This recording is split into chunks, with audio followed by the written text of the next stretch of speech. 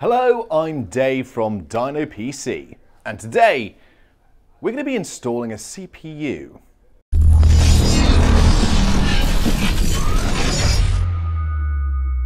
So before we start the video, we are gonna, I'm gonna be telling you about our new series. Basically, we're gonna go through each individual little tiny step of installing every little piece of your components into your computer. We already made a video on it, uh, building a PC, uh, a sort of medium easy step guide. You can click that here and you'll be able to see it uh, for yourself. We did it in three parts and it's fairly easy to follow. But we thought for those of you who want to know how to change or maybe want a simpler uh, guide, we thought we'd make this brand new one instead. We're going to be covering things like how to install your CPU, how to install coolers, every single different types of coolers from water coolers like this bad boy to stock Intel coolers like this, uh, hard drives and how to set it up on your PC so that even a lemon like me can do it. So, without getting further ado, I'm going to introduce Nicola who's going to be taking every single part of this series from now on, maybe other than the intro, and he is going to be guiding us through exactly what is to do. And if you doubt his skills, you can watch this video here where he builds a computer in less than nine minutes flat, and it works. It's incredible. For today's example, we have an ASUS motherboard at Z170 chipset. We have an i5 Intel CPU. Okay, so let's take some time to look at the motherboard layout. Here is where the CPU is going to be installed. There are four holes here, one, two, three, and four. This is where you're gonna anchor your cooler, whatever it is. Stock cooler, aftermarket cooler, or a liquid cooling.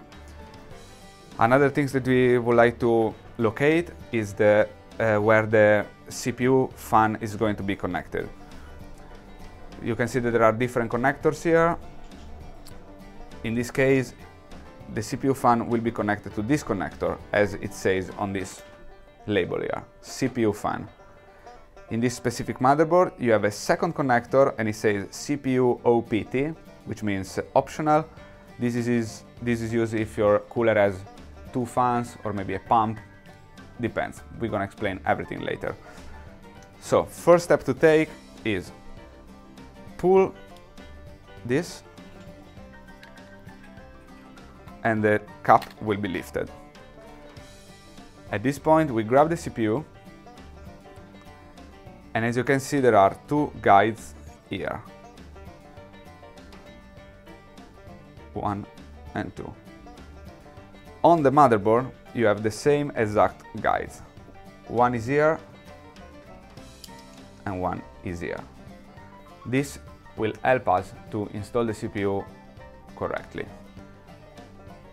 So by matching the two guides from above, we're gonna just place the CPU exactly in the middle of the socket. You don't need to do anything else. Be very gentle. The pin that you were seeing underneath the CPU, where the socket is, are very, very fragile. So don't push the CPU, don't install it like this, just slowly, slowly place it on the pins. Once you've done that, just grab this bit. Make sure the two guides are going inside this thing. Push this one down and lock it back in. You have noticed that while I was doing this the cap protection came out. We don't need this. You can chuck it in the bin. Okay now our CPU is installed Thank you very much guys for watching. This one is particularly short, but the next one is a lot more in-depth and it's about how we install coolers once we have added in our brand new CPU. We kind of did both of them together and then I thought we're gonna split them in half because each individual segment deserves its own section. So if you enjoyed the video, then make sure you leave a like as it helps us out greatly. If you wanna see this thing benchmarked, then leave a like as well. And uh, let us know in the comment section below what we can do differently. We'll see you guys next time for the coolers. Bye-bye. So yeah, for all of those who didn't know or notice, like, it might seem a little bit janky at the beginning. It's because we actually recorded them both at the same time. We recorded the, the CPU and the um, and the water cooling, um, air cooling uh, bits for the CPU uh, all at the same time. And then I thought, right, we need to split this up even more basically, like make it super basic for you guys because we want to know that um, our, the best of our ability has been done for each individual component of the PC, which helps us out greatly, obviously, and uh, helps you out more importantly. So that's what we've done there. So anyway, click up there on a video. I'm not sure what it's going to be. Let's have a think. Um, maybe the Intel um, i7 6700K versus the new set of Broadwell E super chip. click up there. It tells you up there. I'm getting a bagel.